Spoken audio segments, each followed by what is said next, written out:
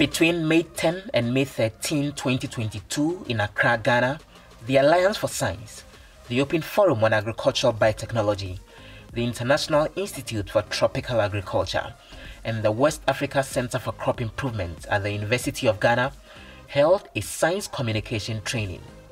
The workshop, themed Speaking Science Ghana, equipped about 30 scientists with the appropriate communication skills to effectively educate the public about GMOs.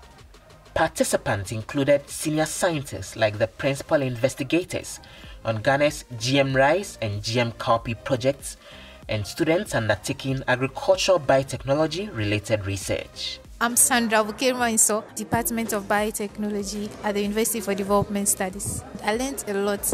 I'm a very good speaker, but I think um, this program has really sharpened my communication skills. So, what are you going to do differently? I'm on several social media platforms, but I've been very dormant, so I intend to wake myself up on all those platforms and speak more about science. I'm Dr. Maxwell Darko Asante. I'm the Deputy Director at the CSIR Crops Research Institute. It's been excellent. I feel more equipped to go out there and, and to grant more interviews to the media and then I'm going to uh, write articles and opinion pieces in controversial sciences like the GMO.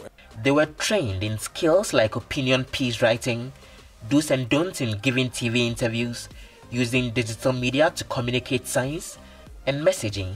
My name is Elena Zu and I'm a plant breeder. The training was really relevant. Now I have uh, the skills to go onto social media. So uh, for me, I think I'll do things differently. I'll use social media more often. I'll not shy away from the media when it comes to TV and you know radio interviews.